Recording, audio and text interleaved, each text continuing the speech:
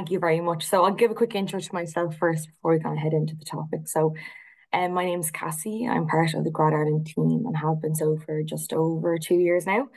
I work closely alongside graduate employers and students, and I get to speak to students such as yourselves about what we do here at Grad Ireland. And basically, we get to connect you with graduate employers through our online platform and through the events that we host throughout the year as well.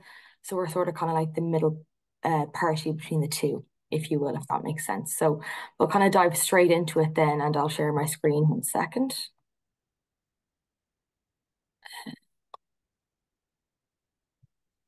Bear with me now. So you guys can let me know when you can see my screen and then I will dive into it. Yeah, that's perfect. Thanks, Kassie. Brilliant. So as I said, I am part of the Grad Ireland team. Um, and I'm going to give you a quick intro into what we actually do at Grad Ireland just before I dive into the topic of the careers fair itself. So so at Grad Ireland, what do we do? So we provide a wide range of information around all things graduate related. So graduate schemes, jobs, internships, um, open opportunities, etc. So um, you can find any information about all this stuff on our Grad Ireland platform. And um, we also provide comprehensive careers advice around the actual journey between coming becoming a graduate and then a graduate employee. So how to get from point A to point B. And we offer a variety of careers advice tools, such as our publications. And then, of course, why we're here today and what we're here to talk about, we host a variety of events throughout the year, such as the Grad Ireland Careers Fair. Okay. So what I'm going to run through with you guys today in regards to the careers fair is why you should be attending events such as this and like why it's important for you guys to attend these fairs, what you can get out of it, how you can prepare um, leading up to the day of the fair. So what you can do to make sure you're fully equipped um, in the lead up to the fair and you're ready to go um, from the get-go and then what to expect on the day itself. So I'll bring you through the actual event itself. So reasons to attend the careers fair. Okay, so first and foremost, the face-to-face interaction that you get with leading employers you can't really get elsewhere. And we there'll be over 100 employers there on the day from sectors of back to sector sector backgrounds, excuse me, of all shapes and sizes. And um, so the face-to-face -face interaction you gain here with these employers, it's a really great opportunity for you guys to um, ask important questions, have really um, significant conversations with them and leave a lasting impression, most importantly, with these employers. You have access to exclusive live seminars on the day. So we host seminars throughout the um, throughout the um, entirety of the day, so which cover loads of topics such as um, how to succeed in an interview, um, how to improve your CV. Um, historically, AHEAD of actually hosted um, seminars at our events, which kind of circulate the topics of adversity and you know how to maneuver throughout the um, uh, graduate employment world um, in regards to disability, etc. Um, as well as this, you're able to get your CV reviewed and looked at at our very own CV clinic. So on the day, you can um, book a slot with one of our CV experts and they can um, bring you through what to include in your CV, what not to include in your CV. And um, you can ask any questions you want regarding your CV to these experts, and they will most definitely have the answer for you. And then, of course, the very obvious point, you're able to check out the hundreds of roles and opportunities that are waiting for you guys um, there. And then on the day, you can ask as many questions as you want um, to these employers around these roles, okay? So how to prepare for the careers fair itself. So on the slide, we have students um, looking at the jobs wall that we have present at all our careers fairs that kind of just give you insight to every single role that's available through the employers that we work with, okay? So how to prepare for the careers fair, first and foremost. Um, so on the day, um, leading up to the day, sorry, it's very important to do your research, okay? And come prepared in the day, first and foremost. Um, fail to prepare, prepare to fail. So this ensures you get the very most and the best out of your day and you're spending your time effectively and efficiently. So what do I mean by research? So find out which company is it going. How can I do this? I can do this by keeping an eye on the Grad Ireland platform. If you keep an eye on the careers fair page on our platform, you can see what employers have um, signed up to attend on the day pick out the employers that you think are the most relevant to you, that you think that you want to work with in the future, and do a bit of research on them. Do a bit of research on what they do and what type of candidates that they're looking for. And this allows you to ask really um, intelligent questions and it also gives you a little bit more confidence um, with talking to these employers because you feel like you're a little bit more prepared going into these conversations. Um, express your skills, your accomplishments, the goals that you're hoping to achieve in the future in a clear, concise manner when talking to these employers. And um, have your CV updated or even updated on the day at the CV clinic, like I said previously.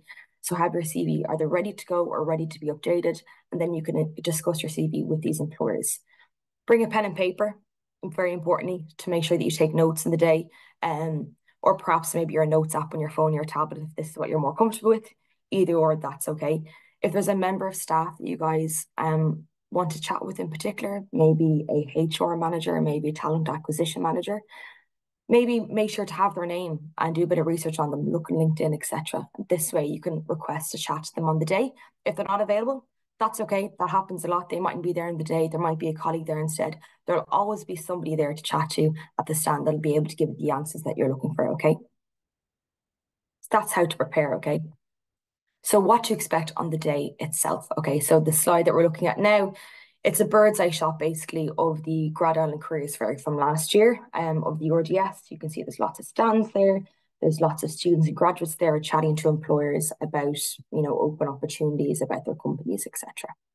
So on the day, you arrive there, you arrive at the RDS Dublin and you pop in. At the registration desk is usually situated just the main entrance. You'll be asked to sign in. It's usually a QR code that you that you that they scan on the way in. That they have ready on your phone. That's usually the way it goes. You'll be given a free program. This program contains a map of the RDS, so you know how to maneuver yourself around the hall.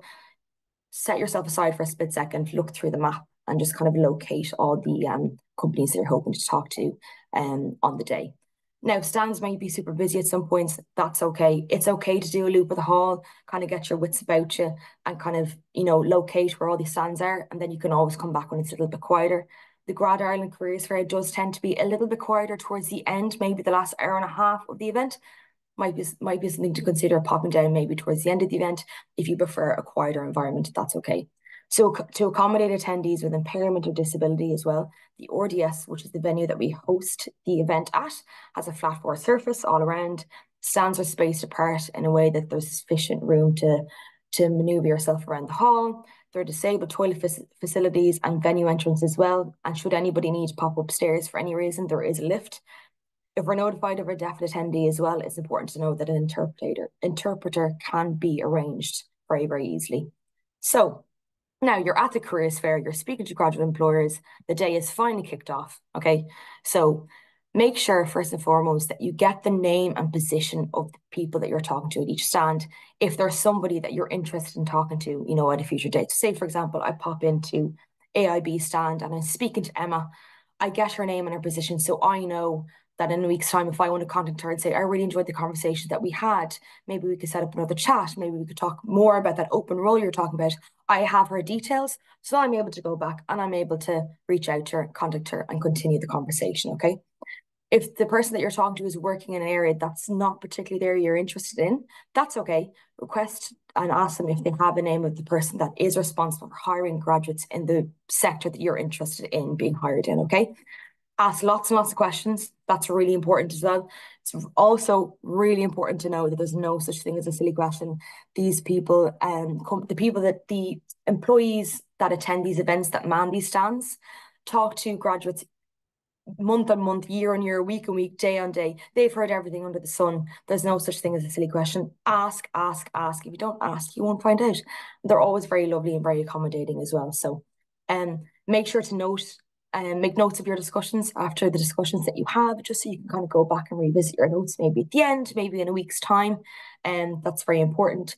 And don't expect to be offered jobs there and then at the fair. That's not what this is about. This is about chatting to these employers and you know discovering um what's out there and discovering opportunities, etc. Also, leave your interview suit at home, okay? So employers don't expect you to be dressed up to the nines um, you don't have to come in in your three-piece suit. You don't have to come in your in your dress and your heels and your skirt, etc. It's a good idea to be dressed in smart casual. You know, have have a nice outfit on, be well put together, etc. There's no need to be bringing your heels or your three-piece suit to the day. Okay, and um, so also, um, after the fair, it's important. This is this sometimes is overlooked, and there is follow up needed after the fair in the sense if there's any sort of conversations that you guys had with employers that you found particularly interesting that you wanted to learn more about, but just unfortunately on the day was a bit busy, or there was other employers that you needed to get around to, that's okay. You can always follow up with these employers. That's why it's important to get contact details if you feel like you'll be you'll want to contact them at a future date. Okay, so follow up is very important, overlooked restate your interest in the graduate positions that you're talking to these to these um, employers about and then suggest maybe you'd like to have a, a chat in future about it okay? This shows um the employers that you know you actually are interested in the roles you're interested in you've made the effort to follow up you've made the effort to reinstate your interest okay? Um and yeah that's that's pretty much the follow-up to the day and the run through to the event. Um i'm more than happy to answer any questions as well that you guys may have around this too. Um, but yeah, that's that's pretty much everything for me in regards to the event itself.